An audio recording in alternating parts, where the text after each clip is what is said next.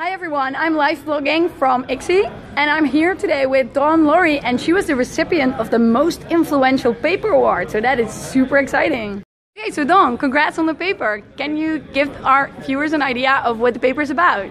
So um, this was a paper we did 10 years ago when we looked at identifier style. So what I mean by identifier style is how did programmers compose their identifiers? Were they made up of full words, so things that you could actually read, did they invent vocabulary, trying to abbreviate so they had to type less, or did they just use single letters?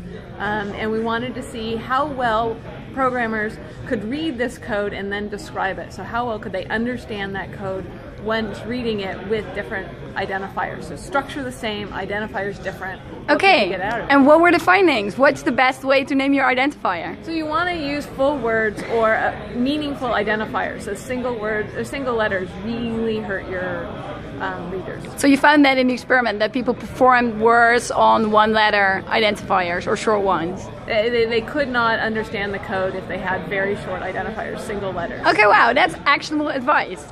And you also did some research into gender and variable names. Yeah. Could you talk a bit more about that? So we found that these single letters hurt women more than men. But if you look at either the abbreviations or the full words, there was no difference for women, but men got more out of the full words. So women were able to deal better with the abbreviations. wow. Do you have any idea on why that is? Do we I know think, that? I, I, my my thought is is that um, as women kind of look and think about alternative um, solutions, alternative answers to problems, they're able to think about, oh, this is a different viewpoint on that same ah. um, piece of information.